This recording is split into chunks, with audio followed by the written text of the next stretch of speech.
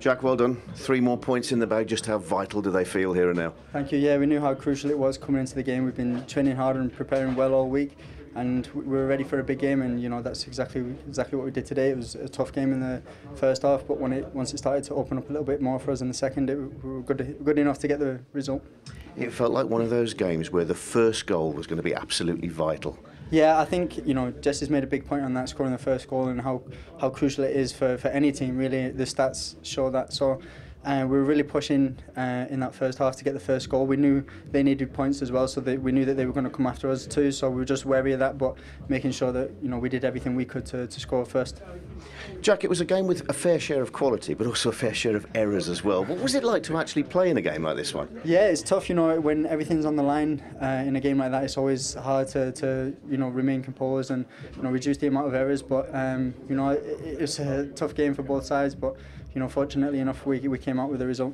When Rodrigo scored, did it feel like game over then? Uh, yeah, definitely. I think um, you know we struggled a little bit uh, at times in the second half, and that they had some chances which um, we need to be more careful of in the future. But um, you know, fortunately for us, they didn't go in, and then we capitalised on that, scoring the second goal with Rodrigo. It's great pressure. It's been what, what we've been working on um, since Jesse's arrived, and you know he did exactly that and deserved the goal. Fine finish from you as well, of course. That's three and three now. You're timing your good form at the right time, aren't you? yeah, I'm, you know, I'm doing a lot off the pitch to, to analyse my game and see different ways I can improve and help impact the team as well. So I've been working hard towards that, and um, yeah, I'm happy to get a goal today. Jack, 10 points from four games. Just how different does everything feel now to a month ago?